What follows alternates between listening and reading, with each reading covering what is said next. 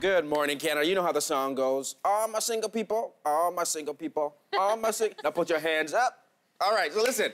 The world's largest social media network is here. They're trying to help you find love. Yeah, this is real, my friends. Facebook announced it's launching a new dating feature, and that's the focus of today's Your Take segment. So sit down, it's time for the family conversation. Would you consider dating on Facebook. With me right now is Ben and Kels. Good morning, guys. Good morning. Good morning. This is a fascinating thing, isn't it? Look, it's the dating is probably one of the most social things we do, so it's, it seems to be in the wheelhouse of something like Facebook. Frankly, I'm surprised they haven't done this already. It hmm. seems like it's low-hanging fruit for them. This is they have all this information already.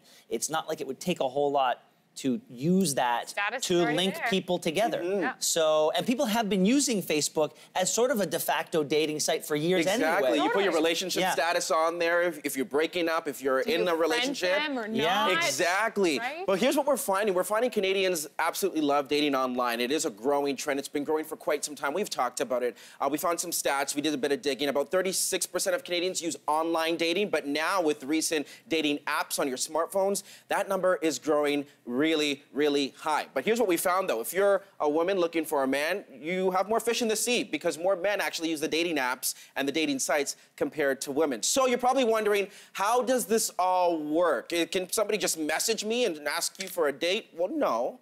It all begins with a feature that you will have to click on to activate essentially. You gotta opt in. Exactly. And it allows you to connect with people that are not on your profile. Uh, basically, once you do opt in, what happens is that you set up a dating profile, but your friends on Facebook won't be able to see it. Now, how do you meet people? How do you meet people? Well, you start to like events that you would actually go to, or you join groups that you're interested in. Almost as like if you're in the real world, you, you go to like I don't know, like a painting, uh, you know, painting class. You join a painting group on Facebook. Once you join that group, or you join this event, then you will be shared. Your profile, your dating profile, will be shared with other people who have opted into the dating feature, who are attending that event or are in that group. You know what I Then you can message someone, but it's only via text, Kels, because Huh. they are trying to ensure that there's safety around this. What I find interesting is when I look at the social media uh, that I use Twitter, Instagram, Facebook, Snapchat Facebook skews older in Mm-hmm. my family uh, with uh, my parents, my uh, relatives, my older aunts and uncles, my grandparents on Facebook as opposed to some of the younger relatives that Mm-hmm. I had. So this struck me as really interesting that it would be Facebook and not Instagram because you know that they're combined. It's such you, a great point. I would have loved to have seen their plans for this dating app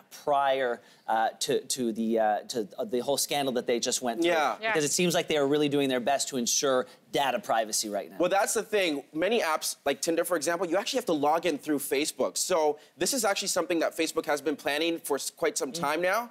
But yes, uh, like you said, that data breach that happened recently, that is on people's minds. So here's the question for you, Canada. We use the hashtag Your Take. Would you use Facebook today? Chime in right now on Facebook, on Instagram, or on Twitter. We want to know right now. We'll be back right after this.